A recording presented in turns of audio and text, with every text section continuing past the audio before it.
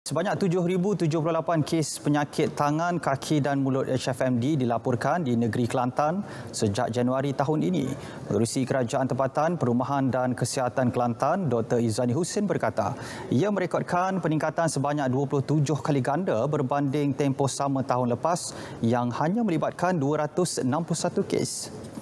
Bagaimanapun, kes yang dilaporkan pada minggu Epid 28 berjumlah 39 turun sebanyak 58.5% berbanding minggu Epid 27 iaitu 84 kes. Jelas beliau sebahagian besar wabak yang dilaporkan membabitkan Taman Asuhan Kanak-Kanak Taska dan Pusat Jagaan Kanak-Kanak. Dr. Zani yang juga Adun Kijang berkata demikian ketika menjawab pertanyaan yang dikemukakan Adun Wakaf Baru Muhammad Rusli Abdullah pada persidangan Dewan Undangan Negeri Dun Kelantan di Kota Kota Darul Naim, Kota Baru. Tambah beliau, antara langkah yang diambil Jabatan Kesihatan Kelantan adalah menutup taska atau pusat jagaan kanak-kanak selama dua minggu apabila terdapat kes HFMD dan tindakan itu dilihat berkesan. Pada masa sama, ibu bapa kepada kanak-kanak yang menunjukkan tanda-tanda atau gejala jangkitan dinasihati untuk tidak menghantar anak ke pusat jagaan kanak-kanak taska, tadika atau sekolah. Sebaliknya dibawa ke klinik untuk menerima rawatan.